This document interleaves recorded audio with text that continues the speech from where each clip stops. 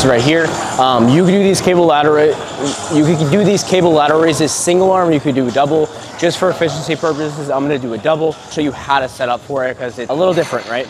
Now, I like to set it up about one shy of where my hip would be. So just to make it easy for myself, I bring it down a couple notches just for video purposes. Now, as I get up into position, I wanna face this rack right here, this cable column, and I wanna face it with the left arm grabbing this side, right arm grabbing this side. Now from here, all I'm doing is just looping over with one leg, looping over with the other on that same cable, and then getting into position. Stagger stance once more, okay? I wanna think about pushing into the wall, so the corners of the room, and then I'm slowly coming back down, resisting gravity, going slightly past my shoulder with that wrist, and then right back into position, okay?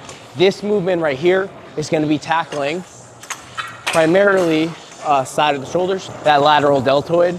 Um, and then from there, we're also tackling a little bit more of that lengthened position.